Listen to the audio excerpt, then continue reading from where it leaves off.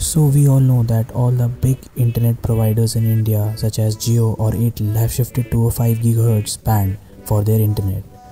Now that means that you should be getting high internet speeds on your laptop or PC, but that isn't the deal. Your laptop is still running on old bands and you're not getting the speed that you should get as per your plan on your internet. Hey guys, this is Shaumit and you're watching PC Media and in this video I'm gonna teach you how you can change your band to 5 GHz on your laptop or PC and increase your speeds so that you can work fast on your Windows 10 when it comes to internet surfing. So without any further ado, let's get started.